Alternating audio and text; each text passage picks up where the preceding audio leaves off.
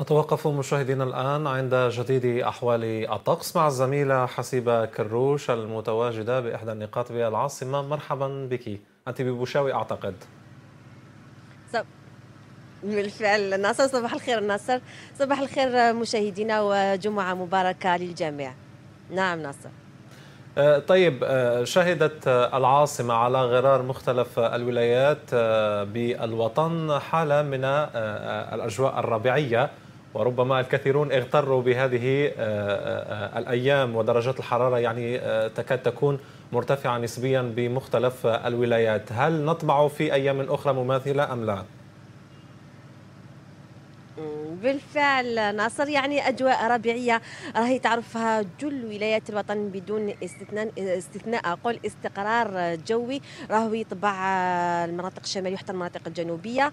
كما قلت ناصر هناك يعني نوعا ما ارتفاع في درجات الحرارة عن معدلها الفصلي خاصة على المناطق الغربية والوسطى. ولحقت إن شاء الله أقول حتلحق إن شاء الله لظهيره اليوم إلى حوالي 24 درجة مئوية. وهذا على المناطق الغربية الغربية وما تعداش 20 درجة على المناطق الوسطى و17 درجة على المناطق الشرقية للبلاد. يعني أجواء نوعا ما ربيعية. راهي تميز جل ولايات الوطن. بالجنوب الجزائري كذلك درجة حرارة نوعا ما مرتفعة نسبيا ما بين حوالي 17 حتى 25 تقدر تلحق حتى 28 درجة على أقصى الجنوب منطقة عين قزام وبرج بجي مختار.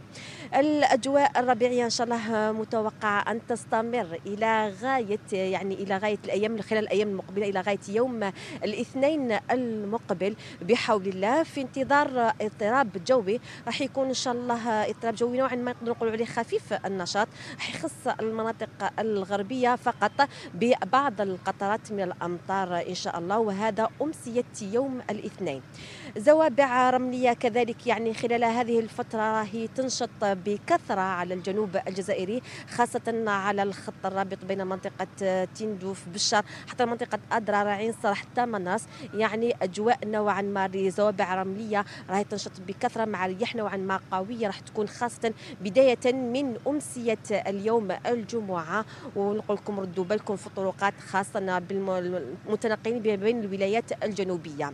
استقرار جوي كما سلفت الذكر وهو راجع إلى آه، تمركز مرتفع للضغط الجوي. حيخلينا نعيش يعني بعد مرحلة عشناها أمطار كانت جد تعتبر ثلوج كثيفة شهدتها المناطق الشمالية وكذلك انخفاض جد محسوس في درجة الحرارة يعاود يرجع يعني للاستقرار الجوي يعني أو هو أمر طبيعي. يعني نعيشنا بعد مرحلة من الأمطار نعيش فترة استقرار إن شاء الله ونعد إن شاء الله خلال الأيام المقبلة نتوقعوا نأمل إن شاء الله حسب النماذج الرقمية أن هناك بعض الأمطار تكون أمطار يعني أقل حدة مرتقبة إن شاء الله يعني مع نهاية شهر فيفري بحول الله فيما يخص آه، يعني هذه الفترة نقول لكل العائلات مع نهاية الأسبوع آه، يعني ضروري أنهم ينتهزوا الفرصة وتوجهوا يعني التنزه لأن الأجواء نوعا ما مستقرة وراح تبقى دائما مستقرة إلى غاية بداية الأسبوع المقبل إن شاء الله. إن كان كان لديك سؤال ناصر